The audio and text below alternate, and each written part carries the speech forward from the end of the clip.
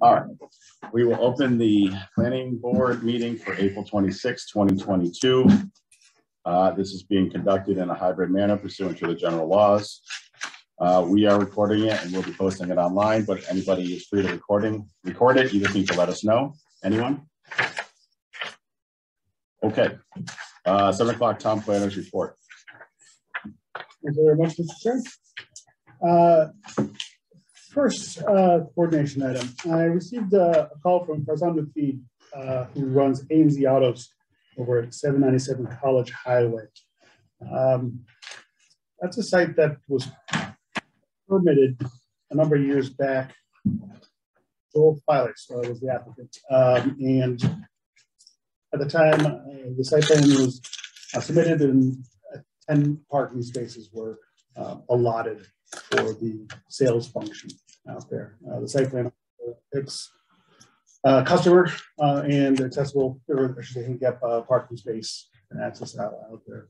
Um, the on-site condition varies um, from uh, what uh, is seen on the site plan, given that uh, we'll say the targeted size and market of automobile uh, is smaller than the standard 10 by 20 parking stall. And as you might uh, presume at a uh, used car sales facility, uh, they are parked, if you will, uh, closer together.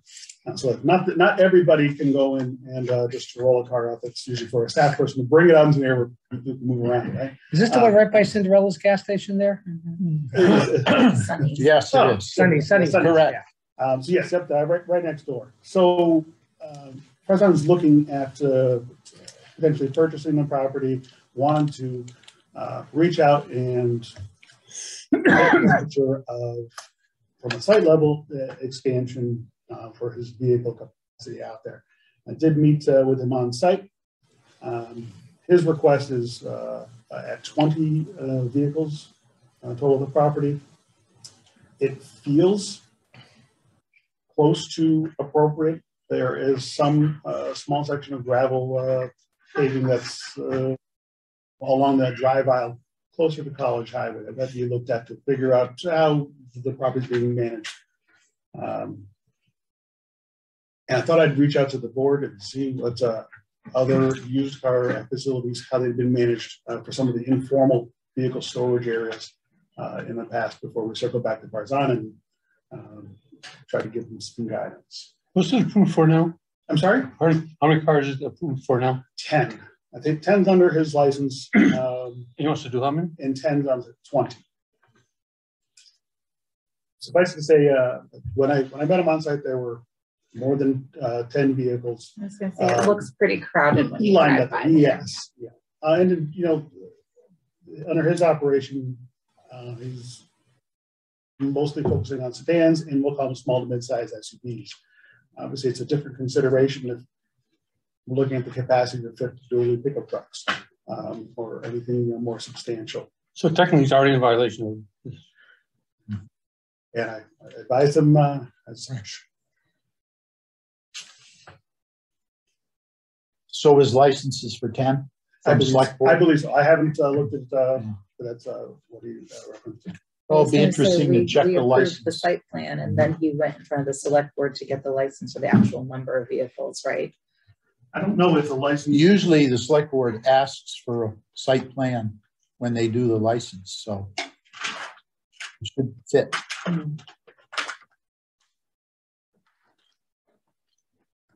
For the sake of discussion. That's. That was a site plan that was uh, developed for Mr. Files, and at the time, he was contemplating you know, building a small, uh, maybe reconditioning Mhm. uh, facility out there for, if you will, sales vehicles only. Uh, So that was not constructed, and essentially, we do have from the, the notice the paid parking, and this extending probably a bit further in line with the, um, if you will, this row of sales cars in those areas and also sweeping down at a certain degree on the other side. Um, So we do see that the area is identified as, you know, sales parking area. Uh, If the planning board doesn't have um, any particular, I'm going to let's say, in well, what quantity fits within these areas, then it's up to him to modify and show to the board how uh, accessible parking and vehicle circulation can be accommodated within the. Do uh, we separate there. out customer parking from sales parking? Uh, yes, in only in what I'm you know, interpreting uh, from a number of years back, although I may recall this uh, plan quite well. Um, So that uh, we're looking specifically at what's the sales space uh, as related for the, for the building, uh, employees, and uh, then if you will, the sales area itself. We've I think I'm doing more lifting than I'm supposed to be doing. two, two customers and a handicap up here, so that's all locked. Uh, Three customers, three customers total, three spaces, I should say, total, and then they, so for a total of four spaces. So he has a special permit for the use Yes. and has the site plan.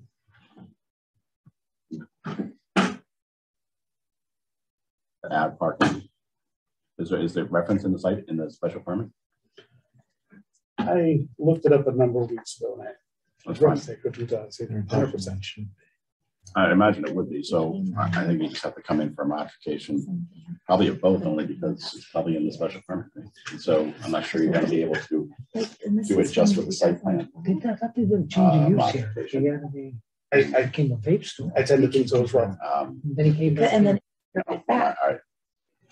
We worked a discussion with the select board right beforehand. uh, Sure. formally, to see Sure. whether it's- You ever turned it into but A and Z that's his Auto. own business. That's right. Because this plan's from twenty twelve. Uh, so I just wanted to make sure I raised that, uh, You guys Look did a more than what modification like a We, year or we two did a this last modification year. to this. Yeah, a Like couple years ago. in Past couple of 2021, years, just did one. It had become a Have vape we got the new store, approval? and then it Let me see reverted if I can back find it. John looking to a small scale auto Oh, sales. yeah. And We this just- is not the most recent. No, No, There was want me go- something let me go That's- see it. Yeah. that's ten years old. Let me go When see I, it. Do we back, have a back in like decision or- No, no, I thirteen or remember. fourteen, somewhere around there, when I was on the board, they, they came in, they changed it to a vape shop. Yep. And then when the Then governor had his big change and everything, they, years, There somewhere was after a that. modified Sure. site plan to, and he wanted a higher number of cars. And we said, well, we think this not fits. And then I thought he went in front of the select board and the select board said, no, you can only have this many. I see. Uh, So see what the I, this is not I will, uh, most recent, I will coordinate with, uh, But that is right, it is. More Yeah. right? Yeah. Hmm. Yep. Haha. well Brain is done. working Good- good This is a, a good, uh, opportunity to get some history and raise this right now. Uh, moving on. I can tell you Uh, about Johnny Appleseed. He comes from my hometown if you're interested in history. I We'll, we'll, we'll discuss it later. Thank you, appreciate that. Uh, That's the gentleman from Bell Point Land and the company reached out regarding ninety-five Sheep Pasture Road. Uh, Their work is due diligence and trying to establish what the, uh, what records exist uh, for that property. Uh, There was probably a half dozen or so A and R lots cut off. Parent parcel at one point in time, um, and then a subsequent A and R recorded to join them all as a single parcel uh, once again. So I referred them to conservation with regards to uh, stream, uh, the rear or west portion of the property. And we'll see if anything comes out of discussion. Uh, Mr. Bob Eckwood stopped in today. Uh, He and his family own land um, at Sodom Mountain in the, well, one of the southwest corners of uh, of Southwick. He reached out regarding uh, feasibility for um, a solar array to be at the site. That site does lie within the AC zone. Uh, so I let him know that unless either the bylaw or zoning map were to change, that uh, only small scale systems were uh, permissible. Um, information that's come in since the last meeting, we did receive uh, correspondence from Jason Fiore uh, regarding the Greens West uh, subdivision. They are advancing matters uh, towards street acceptance for next year's town meeting, unless there's a special one that's called prior to that point. Um, We have some correspondence. The request essentially is to put in place a bond for um, uh, we use the term, I think it's open bond, but to- for punch list and other minor items. Uh, Mr. Brown did perform a cursory review of the uh, punch list that's already in place. Saw that not quite all that it's had been completed just yet. I shouldn't say not quite, not all of the items had been completed. So we'll keep that uh, on the radar. I'll keep you apprised of uh, developments on that. Um, And we did receive an application um, from Mr. Ken Eggleston for the wellhead special permit and several minor uh, requested modifications to the special permit at um, and site plan at one forty-one Congamond Road. Projected to be opened on May twenty-fourth.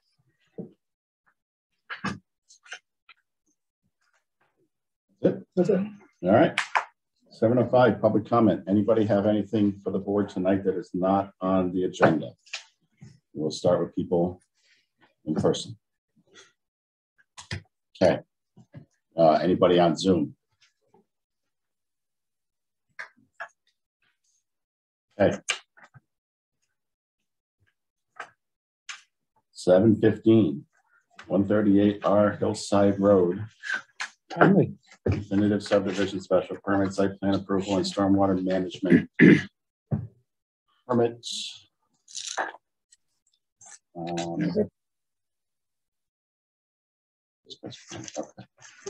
Um, so, let's. grab the. Chris, can you hear us? I sure can. Yep. All ready? We cannot hear him just yet. Hold on, Chris. You've gone on mute. I'm gonna run.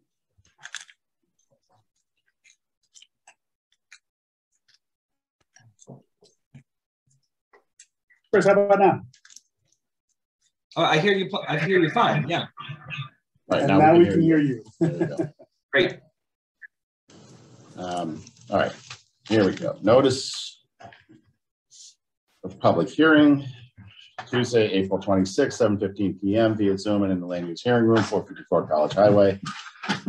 Notice is hereby given in accordance with the provision of Mass General Law, Chapter forty-one, Section eighty-one T, Mass General Law, Chapter forty-eight, Section eleven, and under Chapter three fifteen of the Town of Southwick bylaws, that the planning board will hold a hybrid public hearing on Tuesday, April 26, twenty twenty-two at seven fifteen PM via Zoom and in the land use hearing room. Town Hall at four fifty-four College Highway, Southwick Mass, on an application by N and K Realty LLP, uh, care of Nicholas Katsunakis for a definitive subdivision special permit, site plan approval and stormwater management per- permit for property located at one thirty-eight R Hillside Road, from R forty. Property is shown on current assessors map thirty-seven parcel twenty. You have it? Uh, Zoom information is given. The applicant proposes to create a seven-lot flexible residential subdivision in accordance with the bylaws of the town of Southwick, chapter one eighty-three, chapter one eighty-five, sections 9, 10, 13, 23, and chapter three fifteen. Copy of the application and the plans may be inspected by contacting the town planner uh, at his phone or email. Any person interested or wishing to be heard on the application should appear at the time and designated Michael Doherty, chairperson, Southwick Planning Board. Um, we will, um, um, Jessica, you'll be designated for this because there's a decent chance that I will not be here. So, um, um, all right. So, uh, Chris, if you want to just start with your presentation and then we'll go from there. Okay. Yep. I'm going to ask permission to share my screen as I go through this presentation. Oop, That's me. Sorry, Chris, give me one second here. I think I can do it. Try it now, Chris. Sharing the screen. Yeah. How about that? There we go. Yep. Uh, hello, my name is Christopher Carney. I'm here on behalf of R Levesque Associates. Uh, on behalf of, uh, I'm here yeah, for Nicholas Kastanakis uh, and NKT Realty uh, for this subdivision off Hillside Road. I work as a civil engineer and land surveyor over at R Levesque Associates. And as previously mentioned, uh, we're here for a definitive subdivision, a special permit, site plan approval, and stormwater management permit application. The special permit would be for a flexible residential subdivision.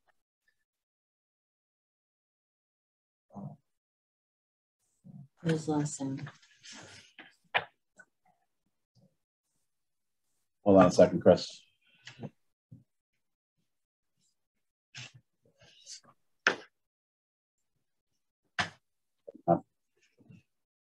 Chris, can you say something for a second?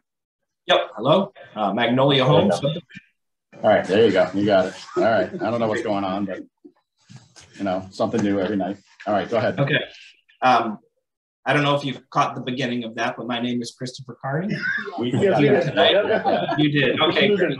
Um, uh, so um, we're, we're looking at Magnolia Homes plan set right now uh, at 138R Hillside Road. Uh, the property, I'll I'll show you on GIS where it's located in the town of Southwick, right here. This would be lot 20. And uh, on Google Earth, um, this is the way it would appear from the street, Hillside Road. And there's an existing trail that gets to the wooded area back here, with the majority of the project taking back taking place in this wooded area. Um, existing conditions of the property, as noted, there's this entranceway, two existing residential homes on either side of the existing access. Uh, and then the tree line here and uh, wetland areas in the rear hatched with this wetland symbol. Also hatched would be steep slopes uh, that are not really buildable or can be considered as open space land. Uh, the topography of the land is high on Hillside Road and then simply uh, will slope down towards the wetland area. It's a pretty uniform slope as we head towards the wetland. Currently, there are no homes on the property. Uh, the proposed subdivision, as noted, was a, is a seven lot subdivision with five buildable lots uh, shown here around the cul-de-sac. And then surrounding this project would be an open space that'll create additional buffer to this land here, and then remaining land uh, in the rear. Uh, we're seeking flexible residential subdivision in order to reduce the frontage requirements for these five parcels and the area requirements for these five parcels. On the face of the plan, we have generated a points list on how we have uh, earned points and how we have utilized points. The only utilization of points was the reduction of 22 foot uh, wide uh, paved area for the roadway. That'll help decrease impervious surface and decrease the development footprint further. We really appreciate this uh, opportunity to have a flexible residential subdivision because it does allow the town to have uh, open space as well as uh, a, a, tighter, more clustered residential neighborhood feel. got a couple note pages, uh, but let's skip ahead to the grading and erosion control. As noted, the existing property uh, starts at Hillside Road and slopes down towards a wetland area in the rear. So we're really going to try to follow the natural terrain and have the road slope downhill towards the cul-de-sac. Uh, we had to maintain a maximum grade here, which you'll see, see here. And that results in the cul-de-sac being elevated above existing grade these contours uh, showing one foot contours. Uh, we're schematically showing homes on each lot as well as driveways on each lot, but these aren't going to be final location for the homes. They're really used for stormwater purposes, so we can model impervious area in order to size this drainage basin in the rear appropriately. Uh, we show homes at 3,000 square feet of a footprint, so sizable homes with a sizable driveway. Uh, also on this plan, you can see uh, some tree plantings uh, around the edge. Uh, of course, we've also included a 50 foot buffer strip for all the areas next to uh, existing residential properties. That'll keep the development uh, and neighbors, you know, reduce impacts to the neighbors. Additionally, we show some uh, white pines within that buffer in order to limit the visual impact. Uh, stormwater would be collected in catch basins here and here, and then travel down into the back. Uh, it will travel along this easement area. This is a drainage easement, and it will also serve as an open space easement so that anyone uh, at the cul-de-sac can travel down this easement and enter the open space that surrounds the project. Uh, this, this is the profile of this project.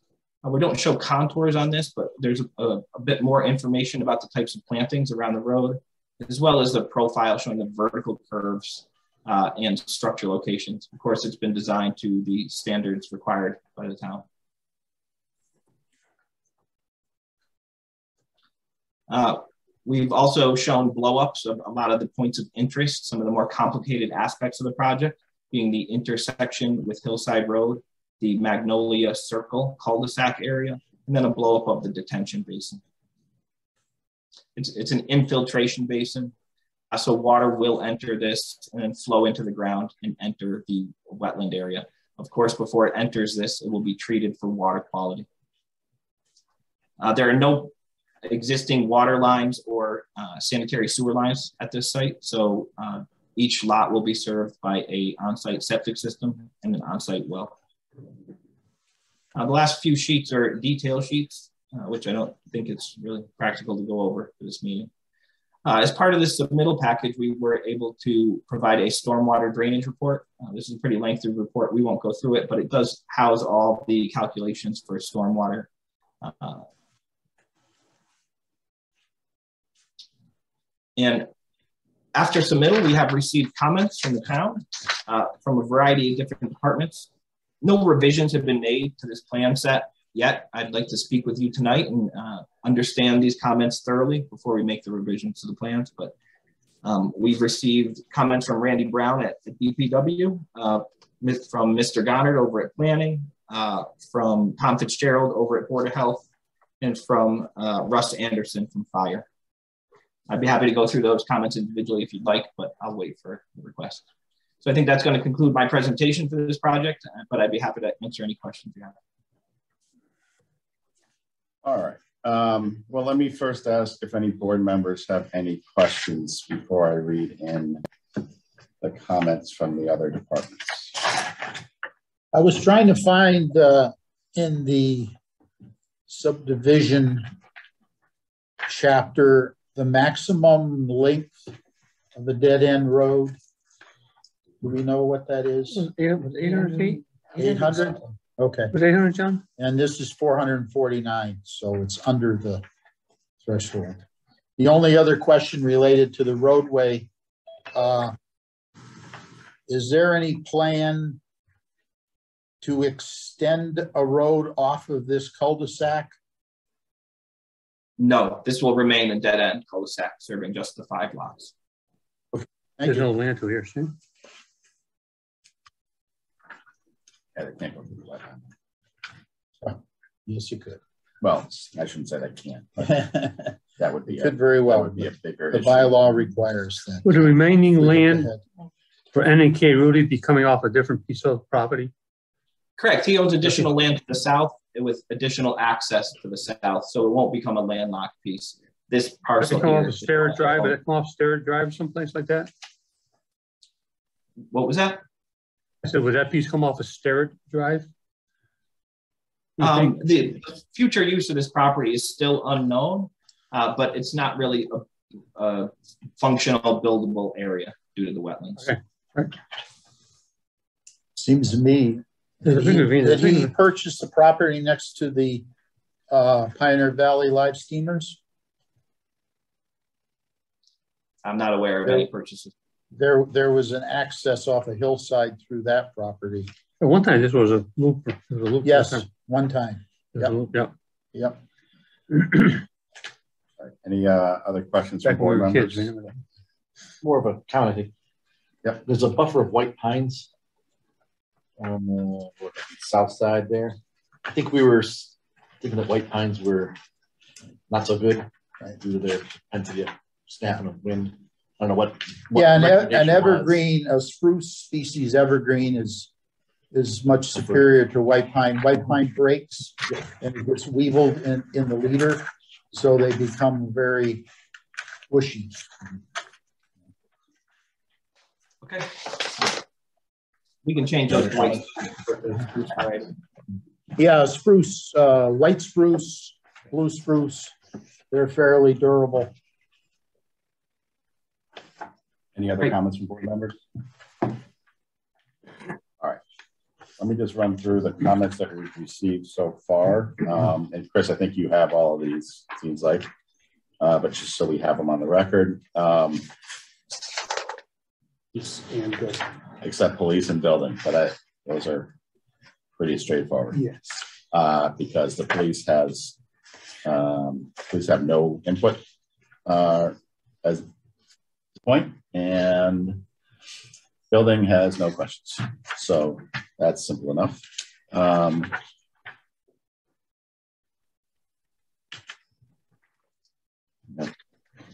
last, um, uh, Board of Health, um, I reviewed the proposed subdivision plans for the Magnolia Home subdivision, subdivision owned by NK Realty LLP and submitted by R Levesque Associates and had some comments. It appears that some of the perc tests and or deep hole excavations conducted and shown on C three uh, are too close to the building envelope on all five proposed lots. This assumes that the building envelope locations are to remain as depicted uh, If so, then several new perc tests and or deep hole excavations would be required. In addition, since the town of Southwick does not provide water service to Hillside Road, private wells would be required. Some well setback distances could potentially fall within the hundred foot buffer, depending on where additional perk tests slash deep holes are located. Uh, please feel free to contact me should you require additional information or questions. Tom Fitzgerald, uh, interim health director. Yeah, so those are great Oh. comments.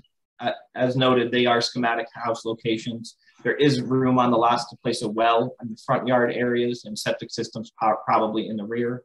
Uh, and the house shape and location may change in order to allow uh, septics over the existing perc tests. In the event that they're not sufficient, uh, additional percs would be required.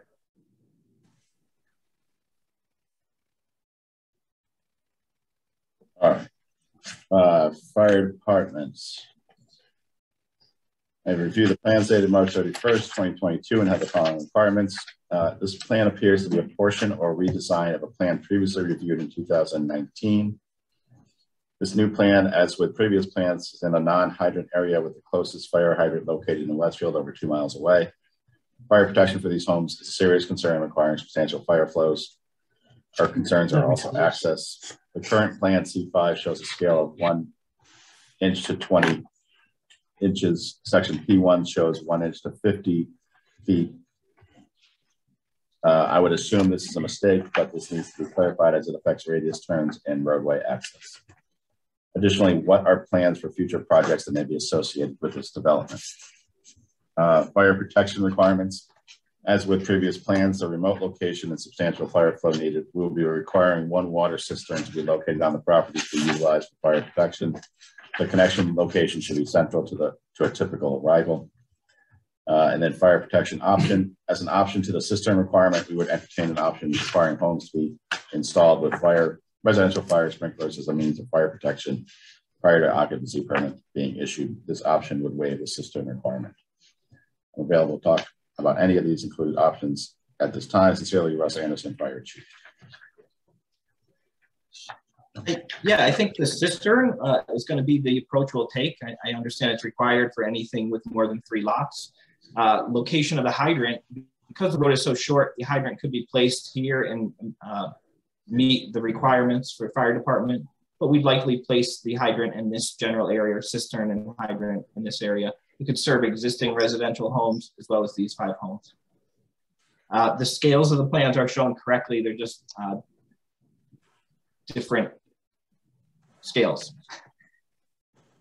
Uh, I think in, interior sprinkler systems for this subdivision uh, don't really make sense just because there's no water out there and to feed a sprinkler system with a well is uh, not ideal.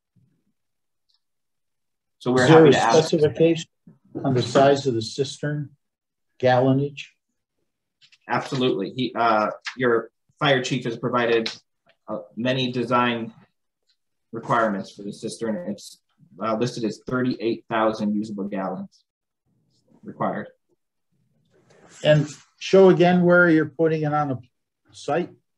Um, and we're happy to take comments from fire department and where they think it's best. Uh, we don't really want to use the frontage of these lots, so I think this area would make sense. Or, if it, it's more helpful to have it near the street to service more homes, that's possible. They want the cisterns to be 1,500 feet away from the lots at, at a maximum. Uh, and this roadway is 400 feet long. So all of these homes are well within that 1500 foot radius. All right. Um, uh, DPW. Um, DPW reviewed the plans and applications um, dated 32422 and has the following comments. One, the applicant shall provide a third-party inspector to monitor construction and provide inspection reports to the town in accordance with section 315 101B. Two, the applicant shall deposit funds for sidewalks not installed on one side of the road into the sidewalk revolving account. The amount shall be to be determined. Three, a dedicated location to push and pile snow should be provided and shown at the end of the cul-de-sac. Four, water collected from roof leaders should be shown and should be either infiltrated or connected to the new stormwater system. Five, drainage easements shall remain open and accessible at all times. No structures, gates, plantings, or other obstacles shall be permitted within the easement. Six, all the proposed trees to be planted along both sides of the street shall be planted as far away as possible from the front lot line. DPW is concerned about the tree roots expanding and heaving the proposed sidewalks. Seven, the stormwater report was developed based on a prior bylaw and regulations, not the new bylaw and regulations. What did, what did we decide on that? Is that correct? Yes, that is correct. Okay. Um, with updated requirements for design storms, total suspended solids, removal, phosphorus removal, nitrogen removal, et cetera. Uh, copy of the new regulations are attached. The plan and stormwater report should be updated using these standards. Uh, eight, the applicant should clarify how the twenty-five uh, foot wide access easement to the open space will be delineated. Further, will this open space be open to use by the public or just the homeowners in the subdivision? Uh, nine, DPW is concerned about the slope of several proposed driveways, in particular lots one, two, and three. The proposed slopes are in the range of thirty-three uh, percent. These driveways do not meet the standards of the driveway bylaws, which state a goal of a max two percent slope for the first twenty-five feet of the driveway. DPW might be able to work with the applicant on relaxing the two percent slope requirement, but a thirty-three percent slope is excessive. Uh, ten, the infiltration basin as well as the piping from the street to the basin should be owned and maintained by the homeowner association. Eleven, reinforced concrete sidewalk section detail, uh, materials and workmanship for sidewalks shall meet Mass DOT standards. The applicant can consider using fiberglass reinforcement as opposed to wire mesh as shown. Also, applicant shall apply a sealant to retard moisture evaporation and protect against salt damage. Twelve, precast, precast concrete catch basin detail, uh, CT style detail. These catch basin structures should be round, further the grade should be galvanized. Um, all right, uh, anything you want to discuss about that, Chris? I know you, you're gonna take time to respond to those and adjust as necessary, but anything you want to talk about now? Yeah, I, I've reviewed these comments and generally we're going to uh, conform to all these requests and, and requirements. Uh, the only sticky situation would be the build out of the lots. We don't know where the final houses will be placed, where driveways are practical uh, for a house design, and how much fill is going to be required for different architectural plans. So we, we show a subdivision uh, with the road built correctly. Uh, each lot owner will be responsible to grade their lots and conform uh, to setbacks for the buildings and for grades for the driveways. Uh, so while these driveways aren't conforming now, they will be brought into conformance at the build out of the lots. Uh, other than that, the schematic layout of the properties, we're happy to conform to all of uh, Randy's comments. I think they're, they're good comments. Yeah, I mean, I guess we'll have, at least from my point of view, think about the driveway issue only sort of pressure in my head because I've gone out with Rob to Depot Square and you know tape measure and measured grades over at some of those driveways, which are absurd. Um, so, um, you know, it's certainly an issue, especially don't, is that to the extent that the sidewalk is, is there a sidewalk going through any of it? Um, on the southern side of the road. Right. Yeah. So you're going to have a sidewalk, which, you know, you're going to have to adjust the grade on as well. Um, so I, I just think because that was the issue over at Depot Square too, is that we had to get rid of the sidewalk in some locations because of the existing conditions. It looks like the sidewalk ends at the uh, right of way or the easement going And down. that's fine, to but the you still have two homes that are So gonna have a Ends driveway. right there. It has to deal with that. So it- it's not, it- we can, I'm sure we could figure it out, but it's just something that I don't want to get, and it- this wasn't, this was, I think, more of an execution than a plan issue um, with Depot Square, but in Depot Square, we had to deal with that issue, and so it's a little bit fresh in my mind. I should end. Um, all right, any uh, board questions or comments on, On the infiltration basin, is there any fencing planned around that or it's not uh, deep enough to be concerned? Yeah, uh, it's three feet deep, so I would say that's not a, a great concern with gentle slopes going into it. So uh, four feet deep to the top of this berm here, but generally a functional three feet of depth before it spills over. Uh, due to the location, I don't think uh, people would be traveling in this area, so no fence is proposed. Why does the sidewalk stop after the first two houses? Why doesn't it continue to the other homes? uh, partially due to the grading of the property, uh, and that when this sidewalk is continued around, there will need to be some coordination with these driveways. Uh, but really, it's due to the amount of homes on this, five homes. I think walking from a house uh, to this um, access area, we're, we're not anticipating any traffic issues um, for the amount of cars on this cul-de-sac.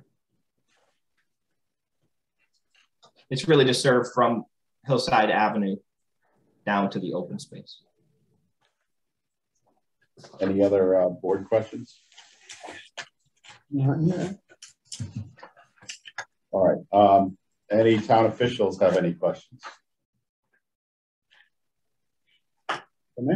Mr. Goddard, Chris, uh, I think we got some buffer zone work for, let's see, some of the back uh, grading and that uh, drainage uh, easement and access.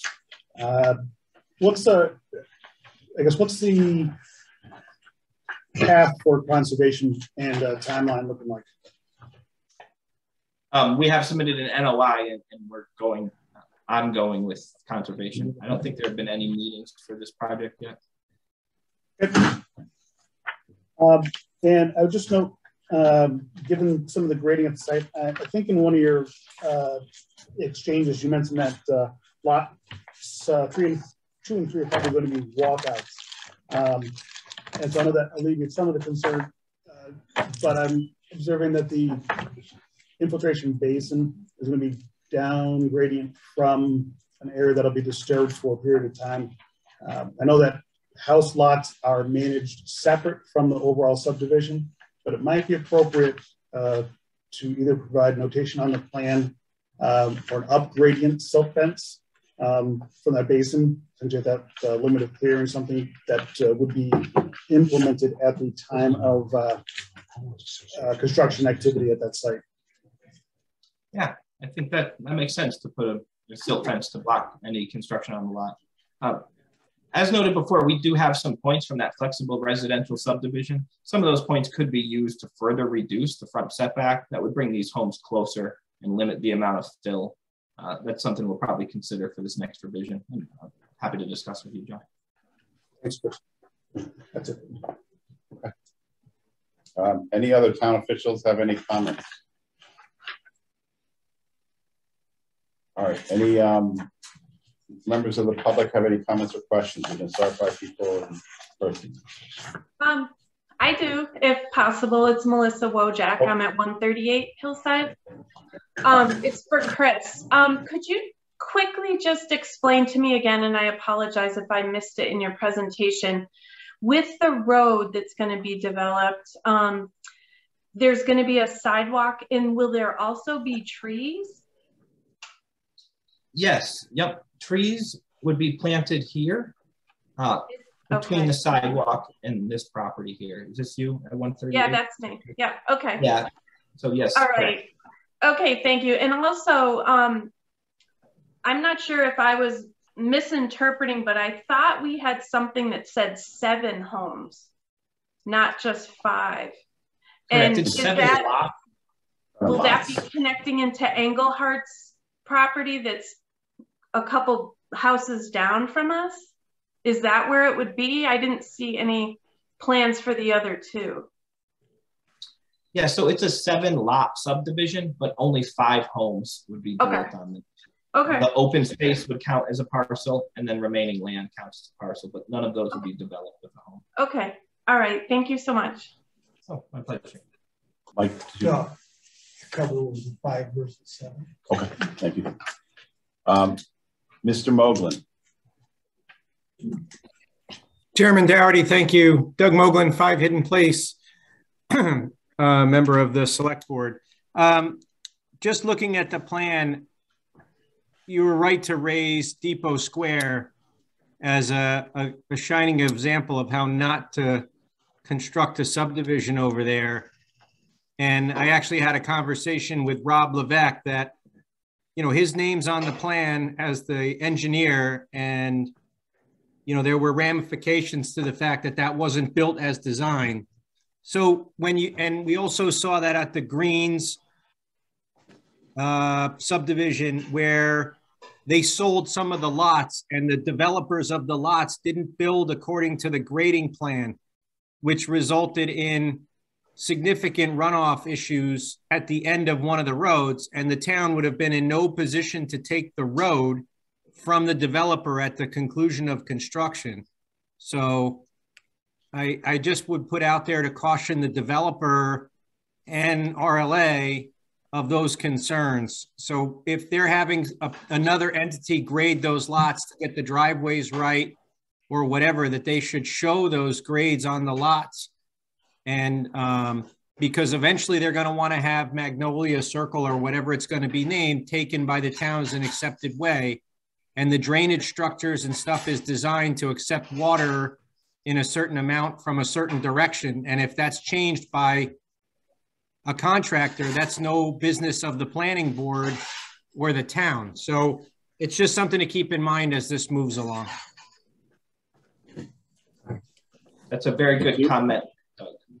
Um, I, I think that Randy Brown is also has the same sort of concerns as far as construction goes. And that's why one of his comments is to have a third party inspector monitor construction throughout this process. So hopefully that would help uh, make sure this site is constructed in accordance with these plans.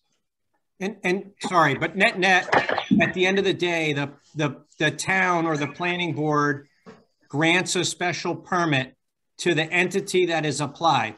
So it doesn't matter a hill of beans if that applicant sells a lot off and then they can't throw up their hands and go, I sold a lot. That's that guy's problem if he's dumping water in the street or there's some other issue, they crack a sidewalk or whatever.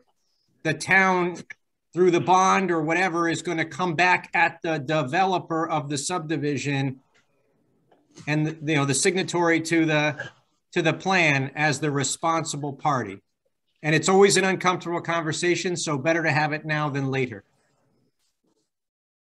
Yeah, we're, happy to have that conversation as well. And we want these homes to be built appropriately and according to these plans. We're just stuck in a spot where uh, there will be fill required. And due to the cost of fill, it, it's not going to be practical for the developer to truck in fill that may need to be removed depending on different architectural plans and layouts of the properties. Some may want a walkout basement, some may not want a walkout basement. So the amount of fill brought in would be dependent on those final plans. We will need to work closely with them. I understand those other projects had some issues, but looking at this one individually, uh, the way the stormwater management system is set up, uh, I don't think we're going to have the same issues. I'm pretty confident we, we won't.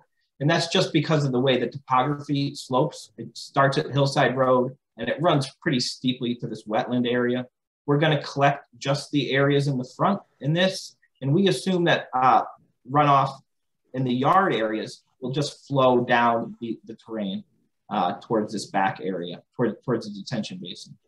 Uh, and, and important to note is that we do write this stormwater report, which has a lot of the technical details that uh, a contractor would need. It's going to be really important for us to coordinate um, with each builder how uh, to develop a lot that has appropriate stormwater. So this uh, is the image showing the subcatchments for the proposed development. So because of the way it's configured, these parcels, they won't ever reach the detention basin. So grading for these parcels will not be important when where stormwater discharges for these will not be important. Uh, and these homes all will either enter the system or they'll flow downhill and enter here, uh, sheet flow over the surface and enter here. So because of the topography of this project, I really don't anticipate issues with stormwater discharge. Um, any other public comments? How you doing, Joe D, two five eight Feeding Hills Road, and also Board of Selectmen. I looked real quick at the map, my only concern, and you guys probably see better than I do, the open space, there's no sidewalks going through open space in the past, we've had developments go in, and the sidewalk went through open space, and then the town has to run their equipment halfway across the town to follow that sidewalk. Because now it's the town sidewalk with the open space scenario. But I think it's all towards the back, right, all the open space, there's nothing up front.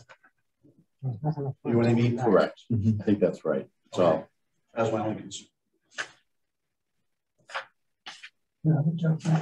uh, yeah, it's all, It's all in the back. it's all in the back. Thank you. All right. Uh, any other comments? All right, um.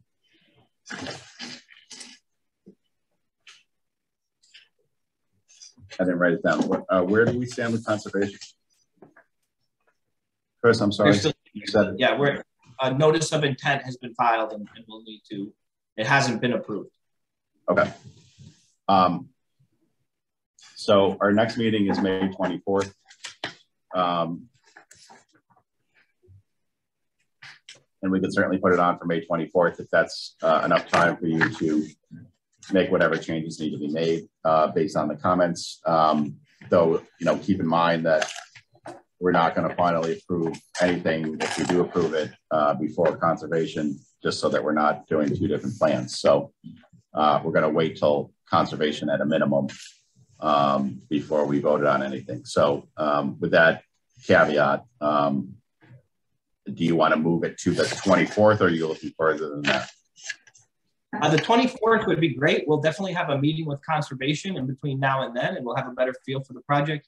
Uh, if we're anticipating more meetings with conservation, uh, we'll coordinate with John and request a continuance to the next meeting.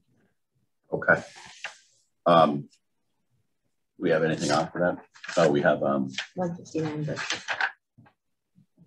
we have, I'm sorry. what? one fifty-nine Berkshire. Which one's 159? One key number is uh, stormwater and stop limit. Oh, yeah. Um, I should know that by now. It's good. We will, Um, we haven't assigned a time yet, but we'll also have. We also have one. over- That's a seven ten. The never ending saga. I sign that? That's Yeah, a that seven was- ten. uh, One point one time. You just said it.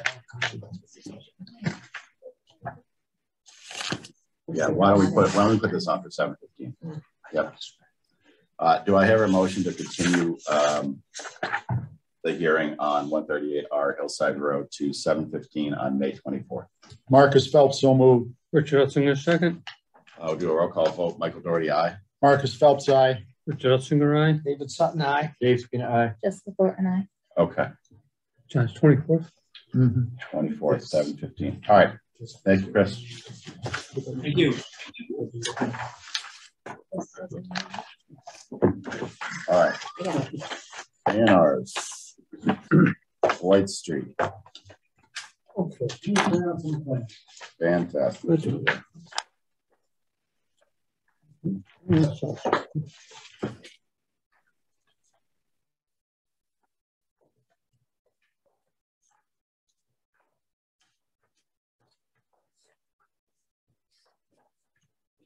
All right, everyone. Brad Moyer has been representing Mr. Ronald Ludor. Uh, You're squishing the York truck in the patio. I know that's precious territory. Um, That's okay. That's right. Um, as related to uh, portion of land that lies across from Mr. Lewis property um, at White Street. The proposal that is being advanced is for uh, Mr. Lewis to purchase um, this particular portion of the property uh, from the Congamond Heights Association. Um, As essentially, we're at the terminus of White Street, uh, and what we see there highlighted on the plan is not land that um, was originally designated as a lot, if you will, on the subdivision plan. Essentially, that, that the land peters out on the original plan. But he has been maintaining for a number of years. Uh, so through coordination uh, with town council, uh, they've arrived at what they're hoping to be the most convenient solution um, for him to uh, to acquire this property. Um, so that is uh, a matter that is before the town for the uh, annual town meeting uh, for a vote. That's the simpler solution. The other one had, if that doesn't uh, move forward, essentially uh, Attorney Moyer's task is to um, obtain, to go a release of interest from all the uh, involved parties, I suppose, in the Congamond Heights uh, development.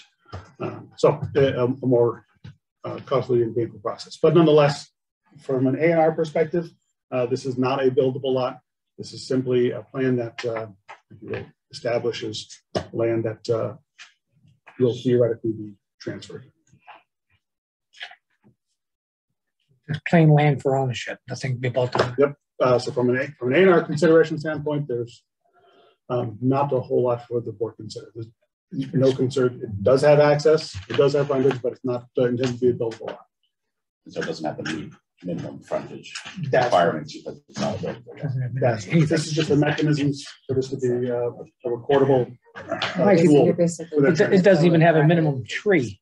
And it doesn't tie into an existing piece that'll make it a Yeah. little bit lot?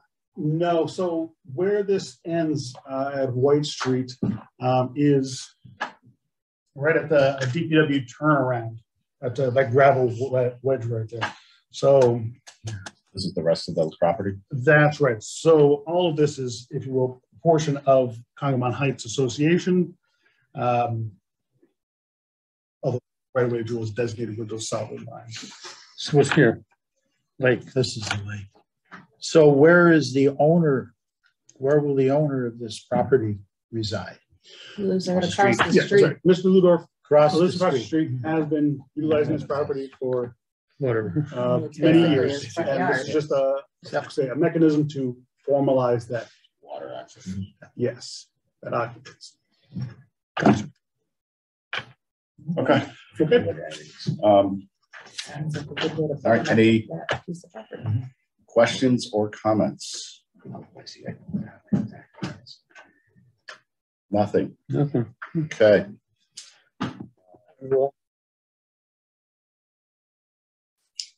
Do I hear a motion to endorse the plan as not requiring approval?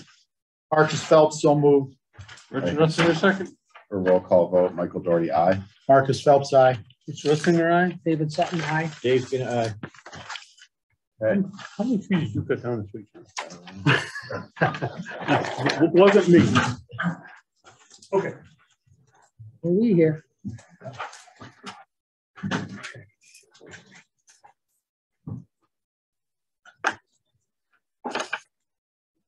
All right, everyone. Our next trick. For the next A and R, we're going over to uh, Come on, bro. North Loomis uh, at the Constance Keller uh, property. So This is a pretty spectacular uh, survey. So If I can make a little space over here, I don't have a great opportunity to match my setup, but there we go. This- These two plans, if you will, match, uh, meet uh, together. Although, if you will, the bulk of the business is on that southeast easterly portion. So where's the concrete plant? I'm sorry? Where's the concrete plant for Kelly Brothers? Is that it on this drawing? I'm afraid I'm not familiar with that specific location. No. Maybe out of the office. Right. Does it have a Quonset hut? Uh, My, my uh, garage would be at least. Okay. What's it? Okay, so what I see uh, iterated on this plan is uh, a number of transfers to abutting landowners um, as broken down uh, in these notes. This jive with that, right? That, that's right. So give or take, plant that little access road right there. Okay. And then we see the rest. So we have a portion that's going to the uh, Antigo uh, property. Let's see, is that um, no, up, upside down here? So E4. This acreage, and that's the Antigo uh, property right there. E5. Let's see, I'm sorry, there's E5, and that's to be combined with adjacent property of, gosh.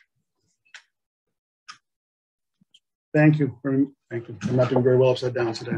What was it? What's the name? Raymond Mitchell? Where's the piece of, that the Hodges is wanting to build on? Remember Recently, they were in. This side of the road. Yeah. Okay, okay, okay, gotcha. Right back. Okay, I'm with you. Yep. So the mother's, That's north. so Irene Jensen's house would be where? West. So Irene Jensen's house would be, West. I don't know. I mean, Irene Kellen's house would be where? She was on the other side of the road, Uh-huh. the teacher. Way up there, there's the road going. Is this the road here? Yep. That's the road.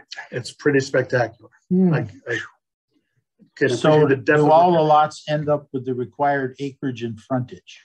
Well, they are being required, they are being uh, combined with adjacent Yeah, um, so. So so after the combination, they all still come out to that's be correct. legal lots? That's right. Okay. And so Because goes, it's referenced Constance Kellogg who's here, yes, Yeah. That's herself. Who has enough acreage. and frontage. Yep, the remaining. So that's Seth's wife, so that's constant, that's her.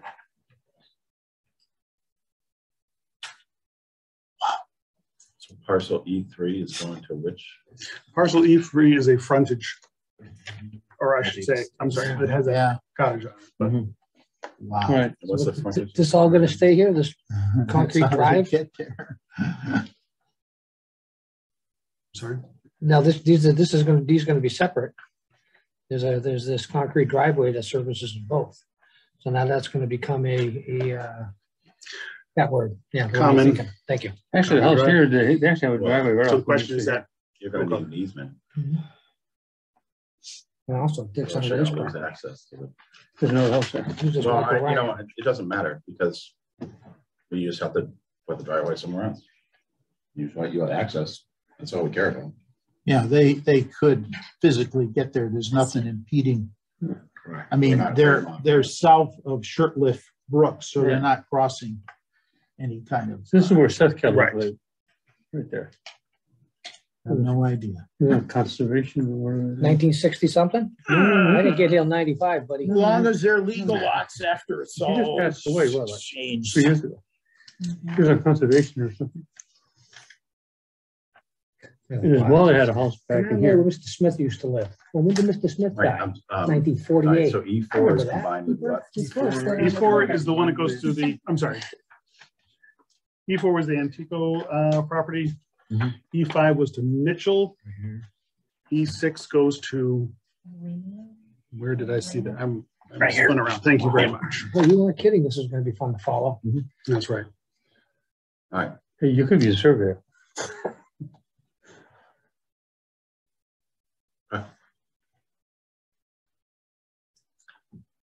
Appreciate the hard work it went into making sure this was all Yeah, really. It's pretty laid impressive. out. I gotta say. Oh, and Mike, I'm sorry, I didn't, so that's two hundred feet of frontage that's established within that E three um, lot that is associated with that cottage. yeah, I was trying to quickly do the math and I, and I, just- yeah. I wasn't sure if it was covered up. No, no, no, I appreciate that. So is there's, there's E three, E four, E five, E six.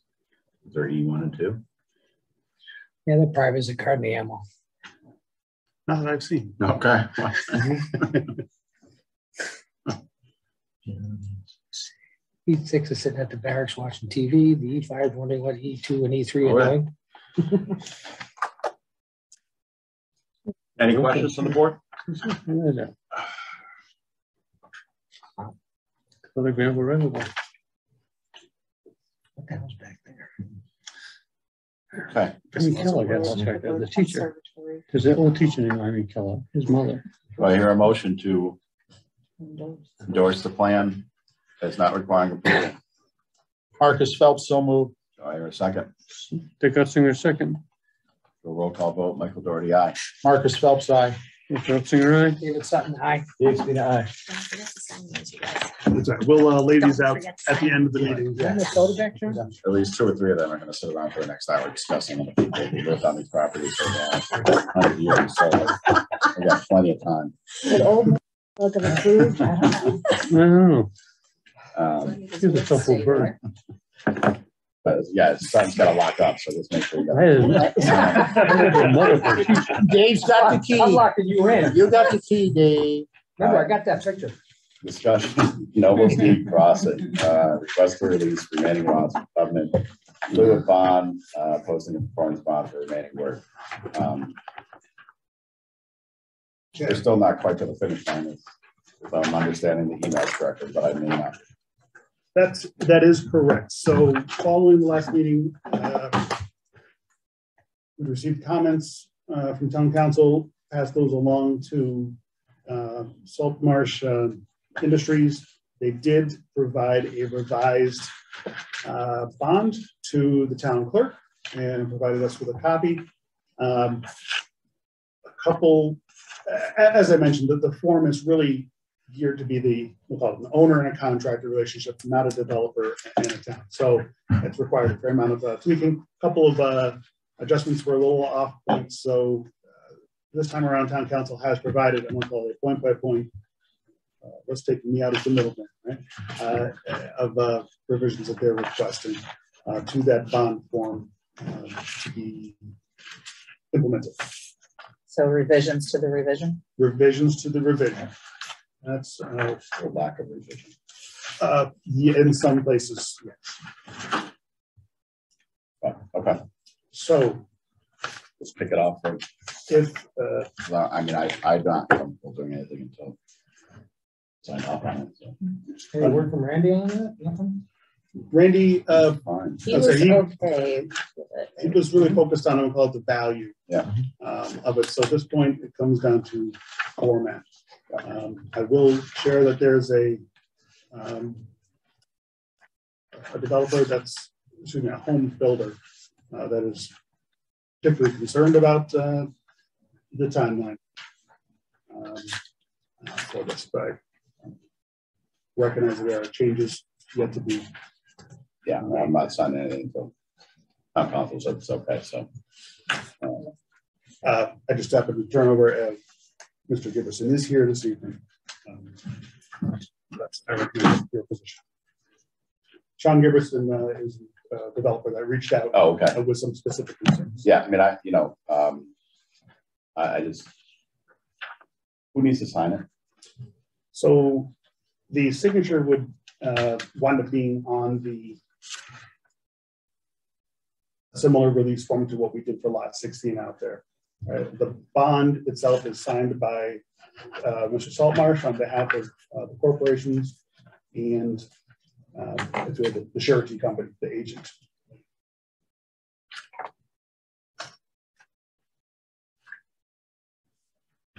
We haven't voted on it. That is correct. We were waiting to vote until we got the. The language, so, That's correct.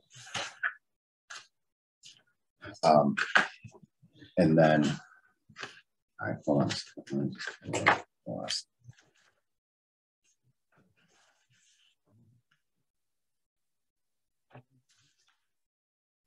I just want to pull up the actual bond, yeah, right there. I do.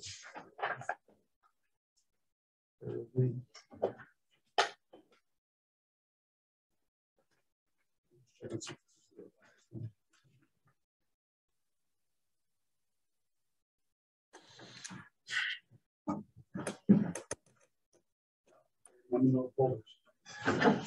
Hold on, I it.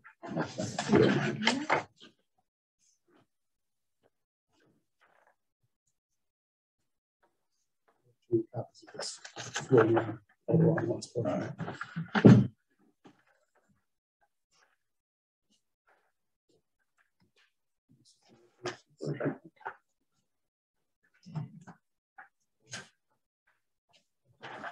uh, remarks, follow-up comments.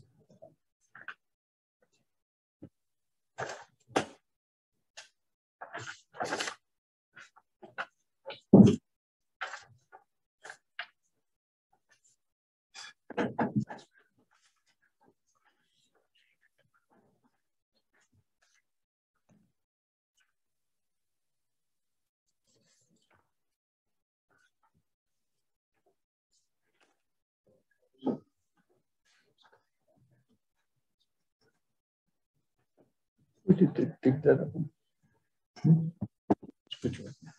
Last month. Was it in your folder? What folder? I didn't get a folder. That's from last week. I didn't have anything in your folders. What are you guys looking for? The uh, disc golf course.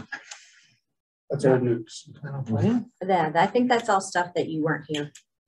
Revised. Because you guys weren't here in person, take it out of your folder last week. I didn't know if you'd want. That's why you, I think the folder's like- and you don't get, because you want, you can't change that. But So we don't- Um, I thought that was tabled until this meeting to actually sign it. Hmm, Maybe I misread the recording of the meeting. I- I put a stamp on it and sign it. I wasn't. to me. And Dick wasn't allowed to say. Right. All right, so, I mean, I don't, Or this is- you know, Mike, I'll just mention that, uh, uh, attorney, uh, Dana Goldman did submit the request. uh, Copy of the previous, uh, release, um, original bond. Uh, we don't yet have without the release document.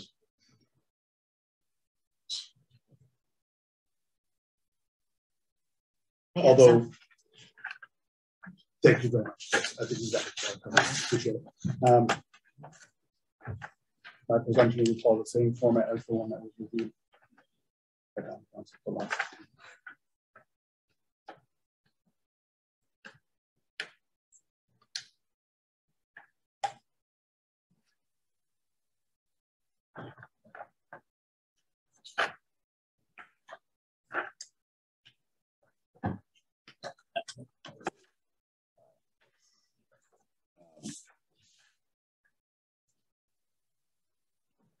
So here's my feeling on this.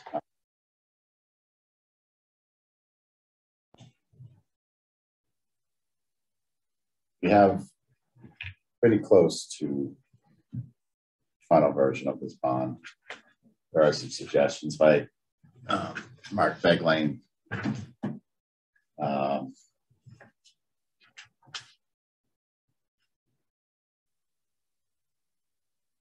I, am not gonna say that they're not substantive, they are, I mean, adding the original developer is certainly a.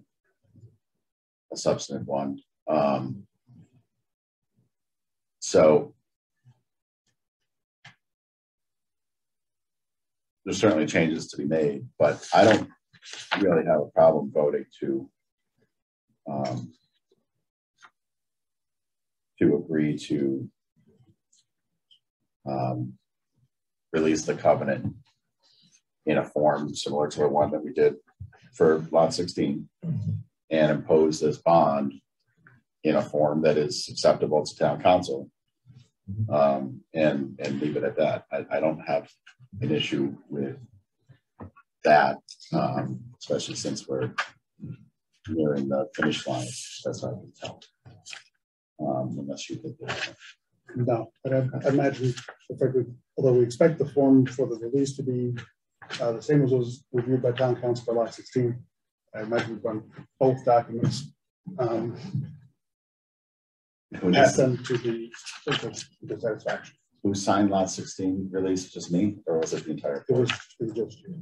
You, right there. So, um, I have no problem entertaining a motion, let's split it up, um. A motion to accept, um, as security.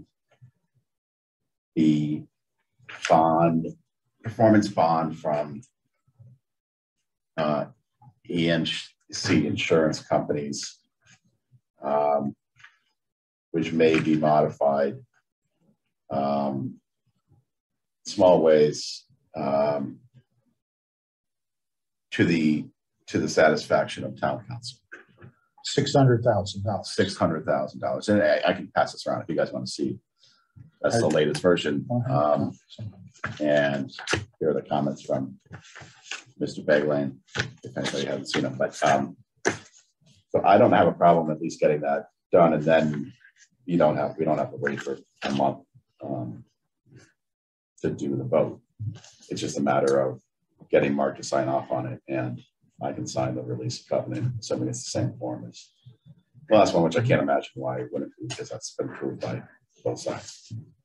So, um, anybody have any issue with that?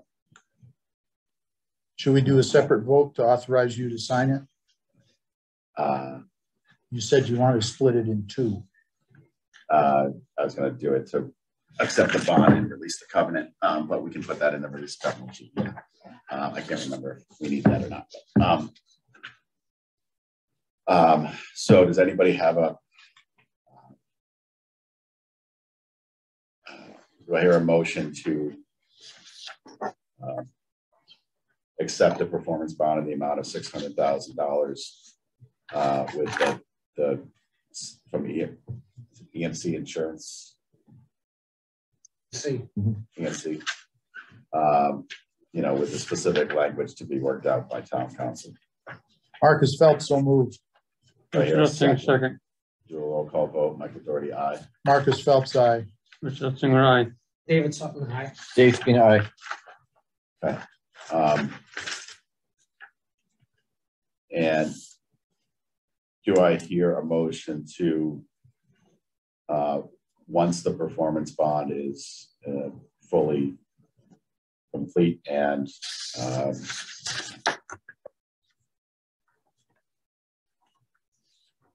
right term, let's call it legally active, uh, filed with the town and executed um, to allow for the release of the current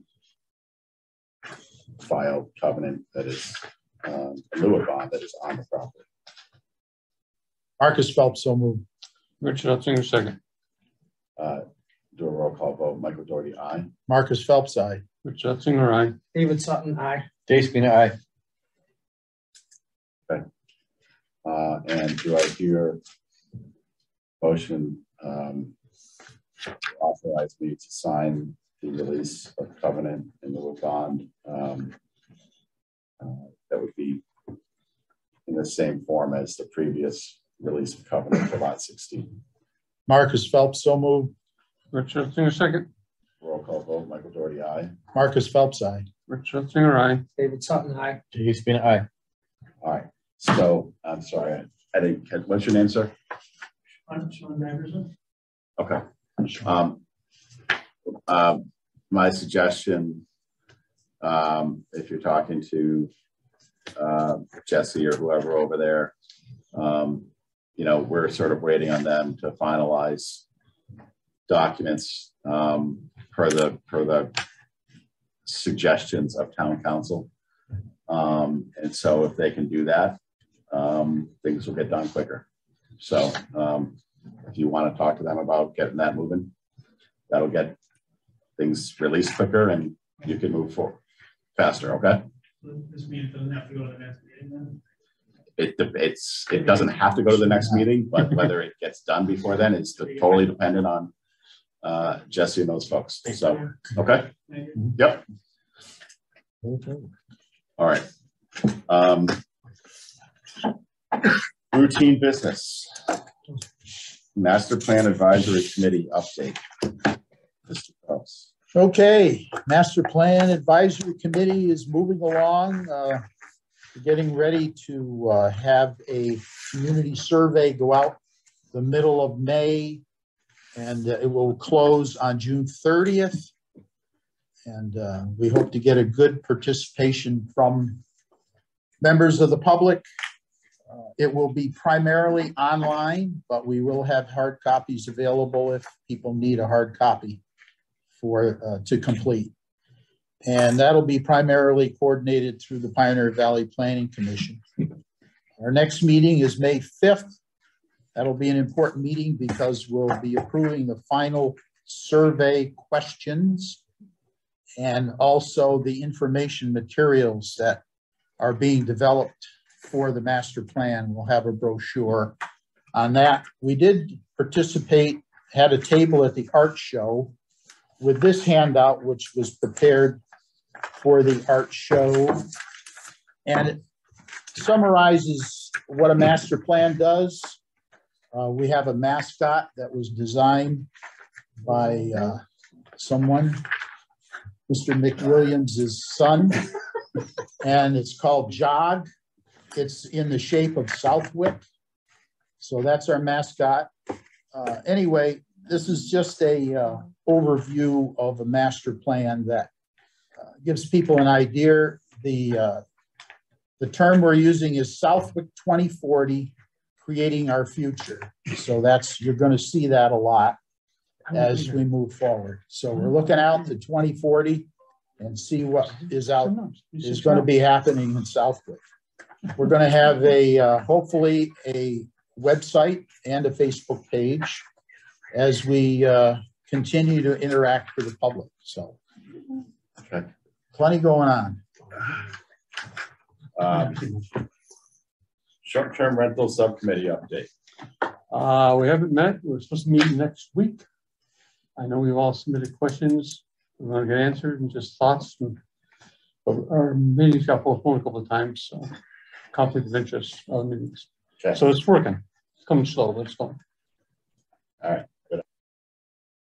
Minutes approved. I haven't seen minutes going on. Now, I was hoping to blast out some over vacation. They're about there, but All right, that's fine. you know, busy. Yeah. They're pending. Working on that tan. So as I sit there with my reflection, we'll get uh, a bunch out, everyone brace for um, a- a busy week for- of reading. That'll Fantastic. keep me awake. Can't wait for the movie to come out. All right. Mr. Sutton, Town Beach parking plan. I have to run around the other side of the table. Yes. You're walking, right? So John, give me a copy of the plans. We, we delineated where it's gonna be and you're, you're good to go. Fantastic. Down by the lake, right? All right. Down by the lake. Down by the lake, next, right to the right of the water. Bond discussion, the ranch estates. Um, So we will put this on for a public hearing for the twenty-fourth um, to uh, discuss potentially putting in a new um, surety for road completion up there. Um, John will work with town council to get the notice together. Um, Randy will offer his comments on a potential bond amount.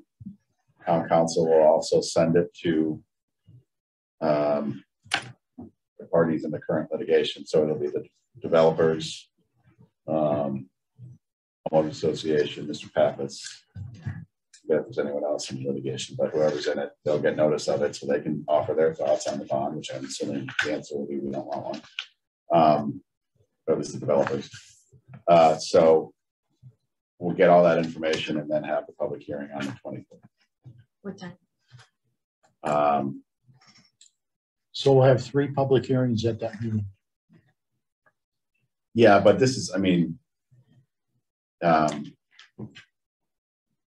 one, the seven, the one that's on seven fifteen right now is a continuation of the public hearing. We've already gotten the bulk of the, you know, presentation. There's not gonna be a ton, I don't think. um, with Hillside. Mhm. And then this public hearing is not gonna be a lengthy public hearing to talk about a bond amount, I can imagine.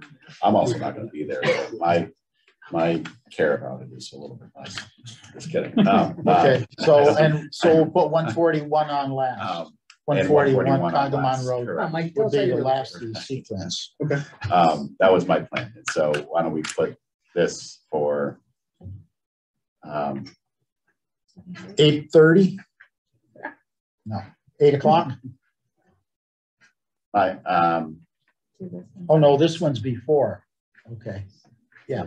Seven forty. so seven thirty. this one will go, so my inclination is to say to put it at, um, well, if we're really gonna have a whole bunch of minutes, um, maybe put it at like seven, No problem. seven twenty-five, just in Yeah, I'm case that seven fifteen doesn't go, or there's not, it, it, it- it's not gonna be substantive at all. I wanna make sure that you're not sitting here for twenty Yeah. minutes. When you're done. Well, do, we'll do, Seven, uh, ten, we'll do 159. regular business during the time. we're. Yeah, it's not- Approve minutes. Yeah, Well, You you know, Mike, with the length of these meetings, we're thinking about raising the rent for the planning board.